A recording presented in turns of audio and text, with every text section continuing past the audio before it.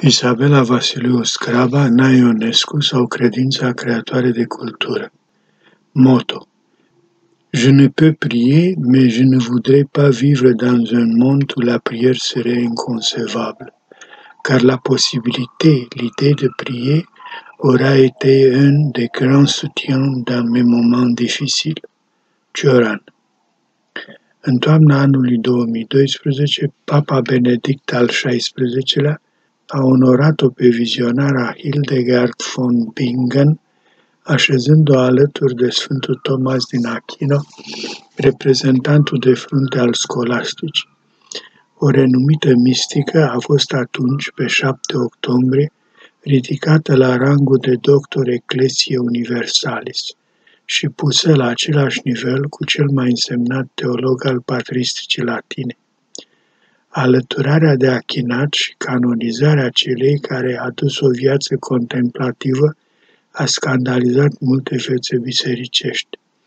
Supărați de fapta competentului universitar ales papă, șapte ani și zece luni de zile, cârcotașii au ținut să reamintească părerea despre femei ca făpturi inferioare, opinie din secolul XIII însușită de călugărul dominican Toma din Achino. Fără să fie de acord cu preoțirea femeilor, Hans Urs von Baltazar nutrea convingerea că rolul acestora ar trebui reconsiderat și pus în concordanță cu spiritul timpului în care trăim. În eseul intitulat Concepte cheie la Ionescu, trecusem și părerea teologului elvețian despre criza creștinismului care ar avea la bază dezinteresul pentru mistică, miezul central al credinței creștine.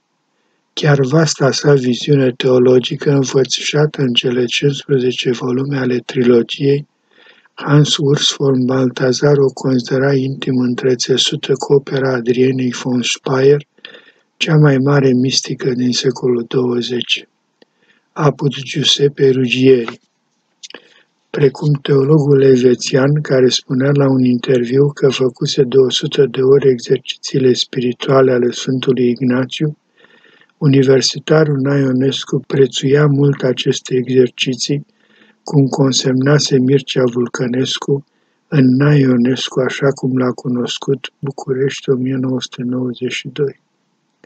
Tot în eseul despre conceptele cheie am citat un pasaj dintr-un articol al lui Naionescu apărut în Predania cu vreo cinci luni înainte ca faimosul filozof să fie îndepărtat din cultura românească prin arestarea sa practic până la moarte de către Carol al II-lea după instituirea dictaturii regale. Într-un interviu publicat integral în Teatru Azi și fragmentar în România literară, Sorana Coroamă Stanca povestea că a fost scoasă din teatru din 1959 și până la moartea lui Gheorghe Gheorghiu Dej. Motivul fusese dușmania personală, vehementă și criminală a lui Gheorghiu Dej, mai mult decât să-l ai dușman direct pe șeful statului nu se putea. Tiranul îl ucide pe cel ce a îndrăznit să se considere om liber. Inițiatorul școlii trăiriste scria în toamna anului 1937 că misticii creștine îi se datorează marele adevăr evidențiat de cunoașterea izvorâtă din iubire. Nu vezi ceea ce este. Pentru ca să vezi ceea ce este, trebuie întâi să devii tu ceea ce este. Primatul iubirii, în esența creștinismului, caracterizează și viziunea lui Hans Urs von Balthasar, expusă succint în broșura Seul amour et digne de foi, 1963, tradusă de Robert Givor 1911-1990 și pe larg în trilogie. Înălțarea Sfintei Hildegard din Bingen la cel mai înalt rang teologic nu a fost nici întâmplătoare, nici lipsită de o adâncă semnificație, fiindcă a adus cu sine noutatea unei prețuiri speciale a teologiei mistice acolo unde până mai ieri strălucise doar teologia rațională, prin sinteza dintre filozofia antică și dogmatica creștină realizată de dr. Angelicus Toma din Achino. Din scolastica tomistă, Ionescu amintise separarea cunoașterii de iubire, odată cu succesiunea facultății de a cunoaște, urmată de facultatea de a voi, cuprinzând iubirea ca activitate separată. Cu vreo zece zile înainte de moartea lui Ionescu, Mircea Vulcănescu încheiase o conferință despre ideea de Dumnezeu în filozofia Tomei din Achino, 3 martie 1940, sublinind diferența dintre un demers rațional, care nu este altceva decât o cale a cunoaștere ca vedere în oglindă prin ghicitură, și vederea, trăirea misticilor față către față. După marele război, în plină epocă de revigorare creștină, Hans Urs von Balthasar, considerat de Henri de Lubac, unul dintre cei mai culți teologi din secolul 20, se entuziasmase de viața și gândirea Sfântului Maxim Mărturisitor. În textul pe care l-am intitulat Osmoza spiritualității creștine europene în cultura românească, observasem simultaneitatea interesului trezit de acest martir, care a trăit în secolul VII, părinte al Bisericii Răsăritene, ale cărui scrieri erau tot atunci traduse la Sibiu prin efortul și conlucrarea dintre profesorul Staniloae și faimosul stareț de la Sâmbăta, părintele Arsenie Boca.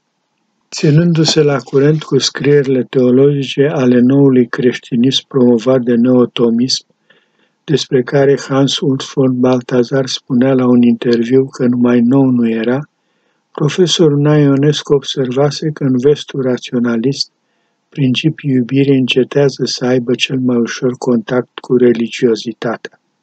Revigorarea catolicismului din primele decenii ale secolului ar fi pus iubirea în planul subiectiv psihologic a realității concrete, dezbrăcând marele principiu creștin al iubirii de toată semnificația lui ontologic-metafizică, conform Ionescu.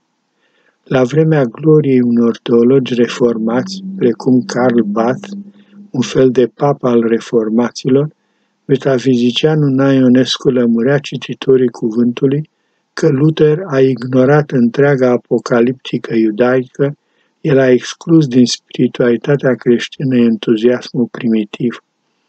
Grija tragică a mântuirii ca și aspra disciplină bisericească paulinică s-au închircit în negurile nordului. Toate demențele mistic-ascetice pe care Sfântul Pavel le trecea ca moștenire creștinismului din lichidarea antichității s-au risipit și mai ales a dispărut fără urmă conceptul paulinic de sacrament.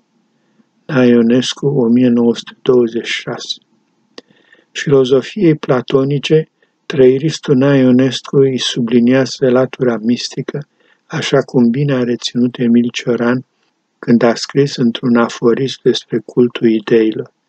Desigur, este vorba de bine, adevăr și frumos, interșanjabile între ele și contopite toate trei în iubirea trinitară a unului, stând la temenia existenței și cunoașterii.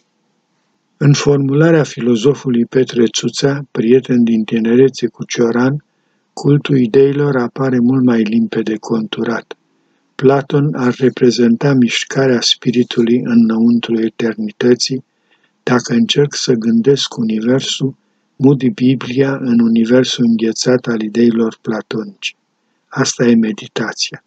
Nu știu cine a spus că Platon este un avant Crist. De fapt, Platon e cel mai mare gânditor a Europei, conform Petre Țuță. I-am amintit pe cei doi prieteni pentru că ilustrează perfect ideea de școală naionesciană, așa cum o definise Mircea Eliade. A face școală înseamnă a provoca un interes general pentru propriul univers spiritual. Ori tocmai acest lucru nu l-a putut face marginalizatul noi ca de la Păltiniș, cu tinerii comuniști care îl vizitau și care i-au criticat universul spiritual de pe pozițiile dogmatismului stalinist-oplucanian. Pe drumul deschis de Platon a mers mai apoi fericitul Augustin, pentru care universul creat de Dumnezeu are o existență ca atare necondiționată de faptul subiectiv al cugetării omenești.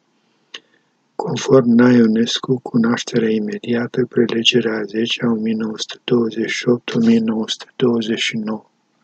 Cioran, fostul student care îl însoțea pe Naionescu la cursuri fără a-i fi asistent, sesizase cu justețe problema naionesciană a celor două metafizici europene, una vestică și alta răsăriteană.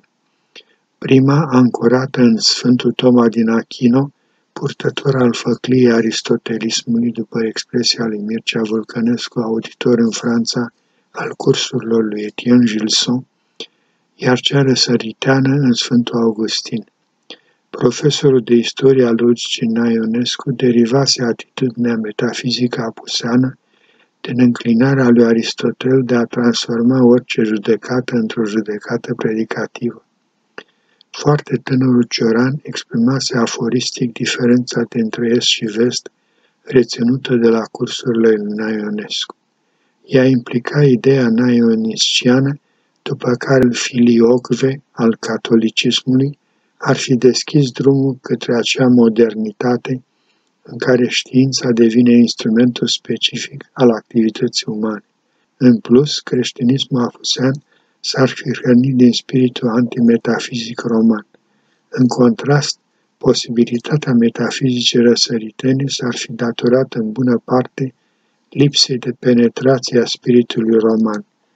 Conform prelegerea 8 -a, Metafizica 1, Cunoașterea imediată, 1928-1929. Naionescu se alătură lui Hajdău Vasile Pârvan și chiar filozoful Lucian Blaga când spune studenților că viziunea asupra lumii a creștinilor orientali le dezvăruie inclinația spre înțelegerea existenței în detrimentul manipulării prin cunoaștere a lumii creată de Dumnezeu. Pentru creștinii din Est, nu orice judecată poate fi transformată în judecată de predicații.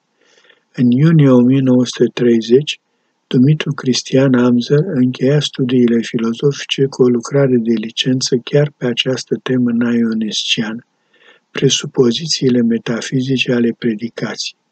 Vasile Băncilă observase încă din 1936 că ideile profesorului Naionescu se răspândesc și fecundează în cărțile publicate de foști studenți de ai săi. Dar să vedem aforismul ceranian. Atâtea veacuri a umblat omenirea prin creștinism după despământenire și n-a reușit decât să se atașeze mai mult de pământ. Grecii au avut să se lege de lume și au sfârșit în cultul ideilor în schimbarea la fața României, editura Vremea 1937. Legarea de pământ s-ar fi petrecut nu doar ca o consecință a neglijării diferenței dintre existență și existența gândită, cât mai ales ca urmare a dorinței de stăpânire și manevrare după bunul plac a ceea ce Descartes a numit res extensa, în opinia profesorului Naionescu, ortodoxia ar fi rămas depozitară tuturor tradițiilor răsăritului, fără de care nu a fost niciodată posibilă ridicarea spirituală a lumii creștine. Despre Descartes, profesorul nutrea convingerea că a rămas necunoscut atâta vreme cât nu s-au pus în lumină decât raportul lui Descartes cu scolastica fără a se stabili precis filiația istorică a falsificării conceptului de rațiune. Ori, tocmai acesta este faptul cel nou din lumea lui Descartes, care ar fi și lumea occidentală, caracterizată prin falsificarea conștiinței europene de 400 de ani încoace, prin panteismul evoluționist al lumii moderne, cu subiectivismul, individualismul, liberul examen, și liberalismul economic sau politic, conform Naionescu. Pentru cei siliți de dragul unui diplome de licență sau de doctorat, a privi doar umbrele de pe pereții peștere în care sunt închiși, este de-a dreptul de neacceptat simpla menționarea faptului că întreaga gândire naionesciană referitoare la individualismul modern sau la liberalismul politic ducând la atomizarea societății S-au putut ani de zile auzi la Sorbona prin gura profesorului Claude Paulin, care desigur nu l-a citit pe Naionescu. doar a parcurs cu profesională atenție istoria filozofiei citită și de filozoful român, trăgând aceleași concluzii. Naionescu împărtășea ideea kantiană după care originalitatea e străină domeniului filozofiei. Dar disprețul originalității nu înseamnă altceva decât posibilitatea trăirii pe cont propriu a efortului de filozofare. După însușirea uneltelor, cum spunea și Noica, posibilitatea de a trăi, de a participa la înțelesul unui sistem de gândire reconstruindu-l, ar fi o operație cumva echivalentă cu posibilitatea de a inventa, de a crea din nou, conform prelegerea a opta. În metafizica răsăriteană, tradițional contemplativă, acțiunea nu este un ideal etic. Ionescu le spusese studenților săi că ar fi fost imposibil ca cineva din țara românească sau din tot răsăritul european să scrie partea a doua din Faust, conform prelegerea 8 1928-1929. După ce ținuse la universitate acel curs despre problema mântuirii la Faust, profesorul scria într-unul din articole sale că renașterea și reforma sunt încă o carte cu șapte peceți. În cuvântul 18 iulie 1926. În luptă cu despotismul dogmei, reforma ar fi îndrumat către cercetarea liberă, ceea ce a deschis calea către constituirea unei puteri spirituale de opinie publică. Un element străin și necunoscut ar fi intrat astfel în istoria spirituală occidentală și ar fi deviat cursul prin puterea explozivă a panteismului, care făgăduia să devină limanul mântuirii pentru toți intelectuali. Către reînnoirea religioasă de la începutul secolului 20 ar fi dus și goliciunea spăimântătoare a cultului unui grande etre al umanității. Ionescu descifrase în atitudinea panteistă a lui Goethe o vagă culoare cabalist-iudaică închegând într-un tot unitar mai mult de trei sferturi din Faust. Problema panteismului goetian îi reținuse atenția și profesorul Lucian Blaga la un curs ținut în refugiu Universității Clujene de la Sibiu. După Naionescu, însuși protestantismul n-ar fi rămas străin de influența spiritului iudaic, care astfel ar fi făcut cuceriri pozitive în lagărul creștin. Luther a vrut să facă creștinism ignorând răsăritul. Formulele de credință ar fi evoluat la reformați către întruchipări din ce în ce mai apropiate de profetismul simplu și grandios al Vechiului Testament. În fracțiunile sale înaintate, protestantismul s-ar constitui într-un fel de liberă cucetare mistică și religioasă, văzând în Isus nu pe Fiul coetern Tatălui, ci numai pe cel mai mare dintre păstorii de suflete, conform Naionescu. La cursul său despre cunoașterea mistică imediată, Naionescu vorbise de diferența pe care o făcea cândva scolastica între intelectul care delimitează și rațiunea care păstrează puncte de contact cu intuiția prin înțelegere în sensul de participare, de creație din nou. Despre vastele și profundele cunoștințe de istoria religiilor, dovedite de inițiatorul școlii trăiriste, în prelegeri universitare, în conferințe sau în publicistica sa, Mircea Eliade, cel mai mare istoric al religiilor din secolul 20, va scrie peste ani că Naionescu a fost un ortodox care a vorbit cu simpatie și înțelegere nu numai despre catolicism, protestantism și iudaism, dar și despre islamism și budism și era unul din cei mai adânci cunoscători pe care i-am avut a cabalei și a misticei iudaice. Când a plecat în Franța în noiembrie 1937, pretextul bursierului Cioran a fost un doctorat în Kierkegaard. În jurnalul portughez, Eliade notează că filozoful danez își pierduse de tânăr credința. În pofida acestei situații, Kierkegaard ar fi fost cel care a scris cele mai pătrunzătoare analize ale sentimentului religios și a contribuit ca nimeni altul la stabilirea autonomiei experienței religioase, conform Mircea de jurnalul portughez.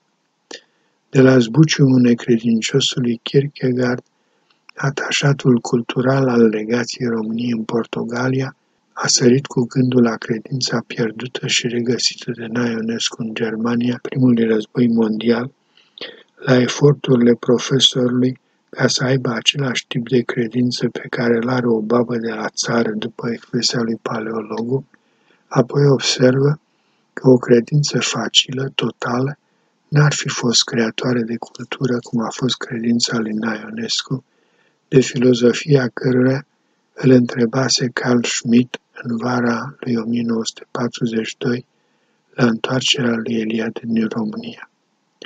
Universitarul german aflase probabil de volumele pe atunci publicate de Mircea Vulcănescu, Noica și Constantin Floru, Naionescu, Istoria logicii 1929-1930,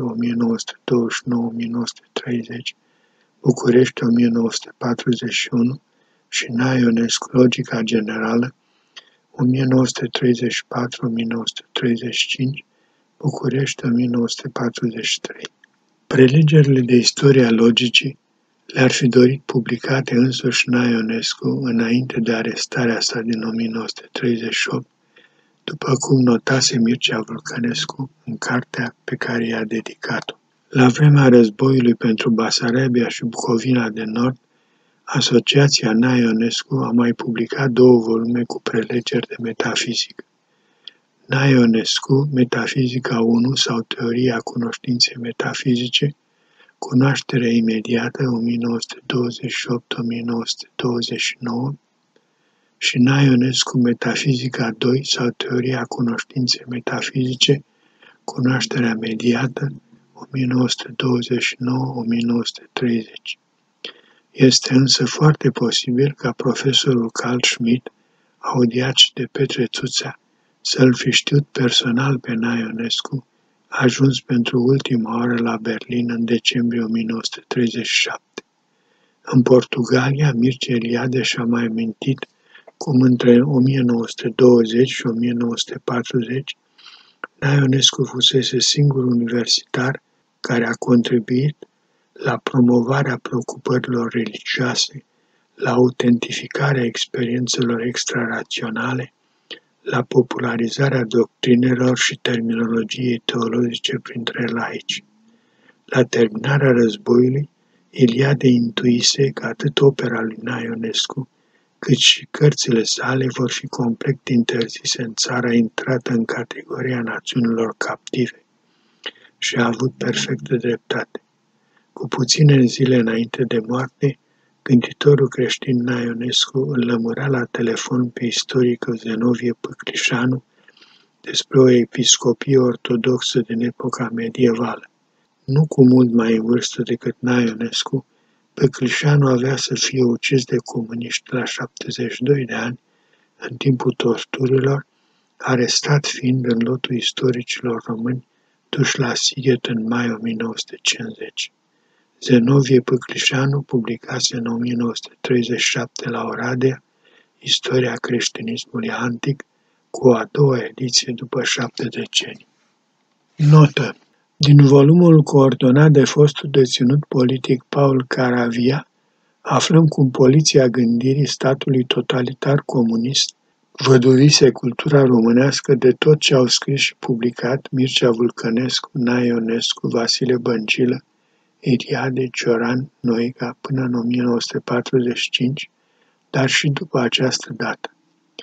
La Mircea Eliade interzise au fost și Tratatul de Istoria Religiilor, Paris 1949, Șamanismul, Paris 1951, Noaptea de Sânziene, în traducere franceză, Paris 1955, Vezi Paul Caravia, Gândirea interzisă, Scrieri cenzurate, România 1945-1989